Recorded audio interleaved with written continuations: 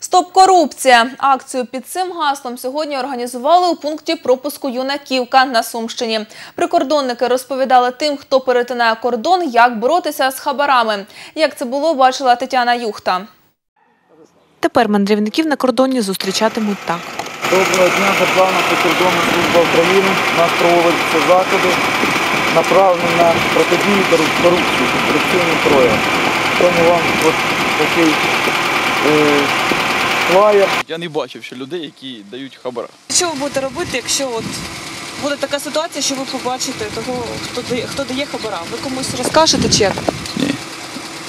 Ну я не бачив таких людей, я не знаю, за чим його давати. Чи бачили ви, ви колись людей, які давали хабара, і як ви будете вчинити в, то- в тому разі, якщо побачите? Номер у меня уже есть, будем звонить, не видел никогда еще.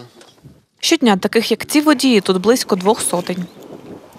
Ось такі антикорупційні флаєри отримують мандрівники на українському кордоні.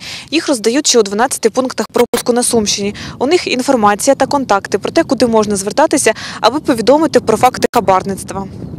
З цього року, за інформацією прикордонного загону, вже відкриті дві кримінальні справи щодо взяття хабара прикордонниками. Затримують і тих, хто дає. Останній випадок по в цьому році це е, іноземець. В нього були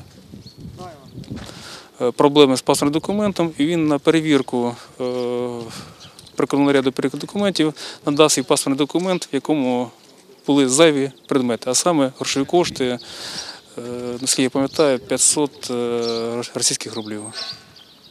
Громадянин був е, затриманий. е, Факт е, дачі неправомірної вигоди прикордоннику задокументований. Загалом, з початку березня, подібні акції відбулися на Львівщині, Київщині та Донеччині. Роздавати такі флеєри, повідомляють у прикордонному загоні, продовжуватимуть і надалі. Тетяна Юхта, Віктор Лапченко. На часі новини.